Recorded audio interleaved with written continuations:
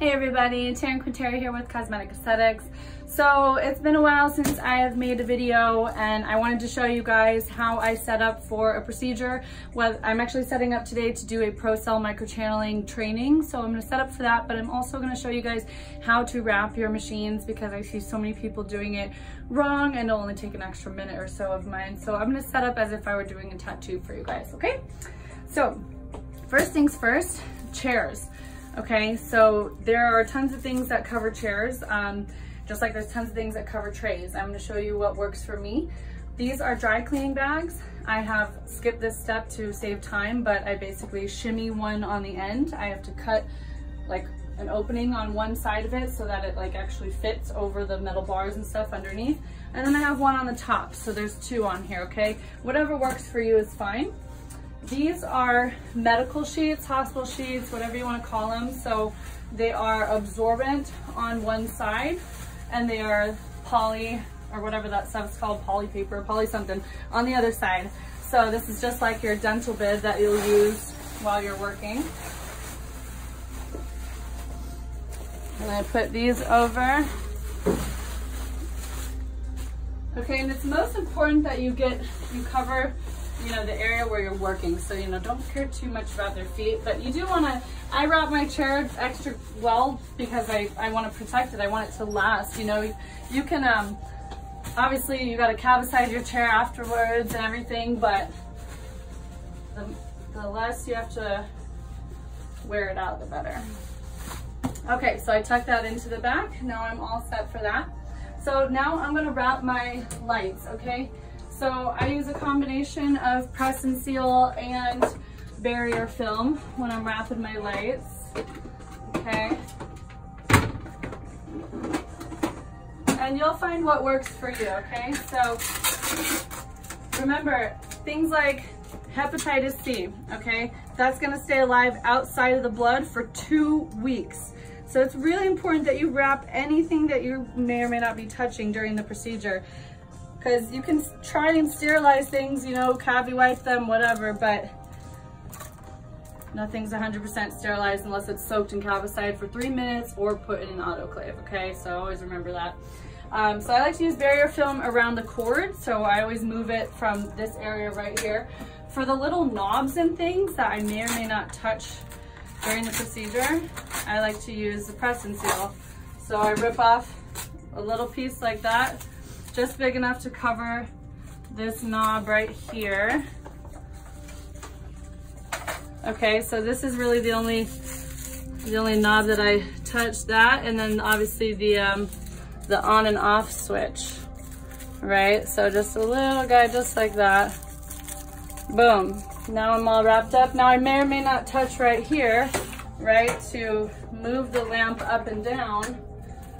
So I am going to wrap that. And the press and seal makes that process nice and easy. Just gonna take a big old piece. Okay, so now I am all wrapped with that light. Now this is a little Valerie Weber trick. I'm going to take a shower cap. Now there's two different kinds of shower caps, okay? So don't make this mistake. There's these kind, which I use when I'm working on blonde clients so that I don't get their hair covered in ink, okay? This is absorbent, so we don't really want to, but it doesn't have the plastic poly on the other side, so this wouldn't be appropriate to wrap your light with, okay? So I'm gonna use this plastic one, even though it doesn't absorb anything, but at least it'll protect, right? So usually I don't have a hard time getting this open, but of course, because I'm on camera, Okay, so I'm gonna slide it on so that it actually covers the on and off switch. Now, I do wanna say something because I know I'm gonna hear it. I am aware my nails are longer than they should be in this industry. I recently did a photo shoot uh, for a project I'm working with, Saving the Wolves. Um, check out saveourwolves.org or .com. I don't know, Google Save Our, Our Wolves and check it out. But anyway, so ignore my nails. And I also skipped a step. Normally, when I'm not on film and I'm in my element, before I start setting up, I'm gonna scrub my nails with my nail scrubber. So I'm gonna go ahead and do that now since I forgot, like a bad girl. And then I'm always gonna put my hair up, right, before I do anything usually. I just wanna say, I know a lot of people do have nails in this industry because there is no real regulation, at least in a lot of states. Um, but you know, my real nails get dirtier than my fake nails do. So I don't know about you guys, but scrub the shit out of your nails in between every client. You'll be fine.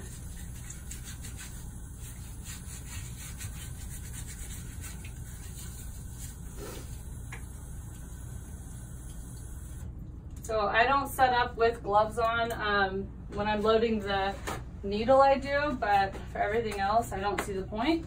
As long as I have clean hands, who cares? Okay, now I'll put my hair back. Let's pretend I did that in the right order.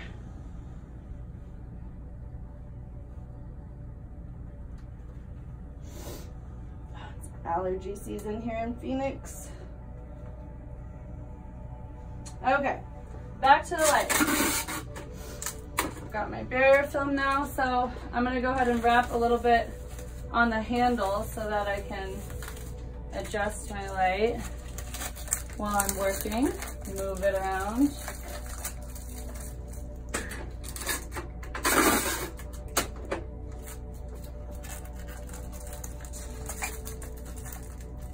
Okay, and I'm gonna put one more on the base down here just so that I can, I need to grab it there, okay? Next, I am going to get my trash bag. So when I'm wrapping my trays, now this is my, my work tray. So anything that I'm gonna be touching, working with blood, and, um, it's gonna be here, okay? We should always have two work trays, all right? So this is my back work tray. My work tray that's gonna have my bloody stuff on it. This is a um, medical grade stainless steel. It's surgical um, stainless steel. I can't talk today. I decided to make a video on the day I can't talk. But anyway, so you wanna make sure that you have this, okay? You can get them on Amazon, you can get them on OfferUp, Craigslist. Just don't have a hair tray, okay? That's not sterile. That's um that's a porous metal, okay? So you can never get that, that sterile. So I like to slide on a trash bag. Usually I have a little bit bigger ones, but I ran out. So I do that first. Then I have these medical pillowcases, which you can get off Amazon, just like I get the sheets. So they're just like a dental bib. You can also just put a dental bib right on top of that, whatever works for you. So these have um, absorbed, an absorbent side on the outside and the plastic poly stuff on the inside. And I'm just gonna slide that right over as well. Okay, and I kind of slide it over so it's like nice and in the corner. Now I'm gonna take some tape and I've got these little tiny biohazard bags. Now every state's different. I know some people get charged depending on like the weight of their biohazard bags. I don't, I just have pickups, um, you know, certain times a year. And so for me, I have these little biohazard bags I like to hang right here so that I don't have to worry about touching anything. I just throw my dirty rags and stuff right in this trash bag. And then at the end, it's got this little fold over, like those lunch bags we used to put our sandwiches in as kids. All my stuff goes in here and I'm gonna film my cleanup later today as well. So stay tuned for that. Um, and that just makes for one easy, this just goes in my bigger biohazard bag that's an easy cleanup in my opinion, but I know that won't work for everybody. Some people have to, you know, only throw, uh, where did my tape just go? Only throw away their, um, really? Oh, Jesus, right here. Some people only like throw away their rags and stuff that, you know, has blood on it and then everything else they throw in a separate trash can because they get charged by weight, but All right, so I taped that right on there, and that also stabilizes my, my pillowcase from moving around. Okay. Let's pretend get our, so I'm gonna get out like, as if I was doing a real procedure, like I said. So on my back work tray, which I'm not going to touch anything during the procedure unless I deglove on this back work tray. Okay, so I start out with just a little dental bib. I've got my apron back here. I've got my ProCell device, which I've got to wrap still. Okay, so I'll show you guys how I do all that. Let's get my face mask out. Okay, so this is my membrane mixed with um, just water. It's membrane tonic. That's what I use during procedures. I replaced green soap with the tonic. So just in case I need to re-wet my wipes while I'm working, I've usually pre-wet them. Okay, so I'm gonna go ahead and wrap that in case I need to use that. Now let me show you guys how to wrap your ProCell devices and your tattoo machines. Okay, so battery out of here.